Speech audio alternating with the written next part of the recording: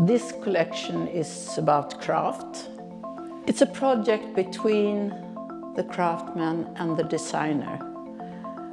It's lots of energy and when I come back and look at the object, the things I did, I think it represents love for me.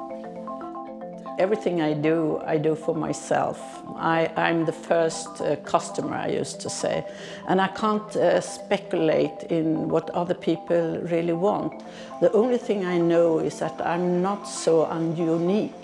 And I, I am sharing a lot with other people.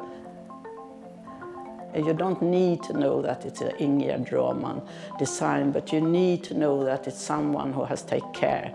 That's the feeling of what I, I really want people to know. I'm not so interested if they know it's me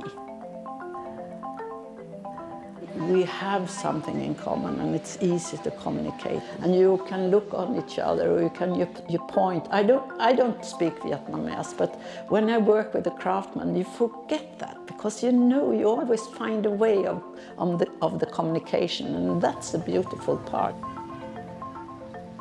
I felt like a child. Everything you have the possibility to learn and learn from the beginning, it's so beautiful. This, the, the, the thing I get afraid of that I shouldn't learn enough so I could do uh, what I want to do.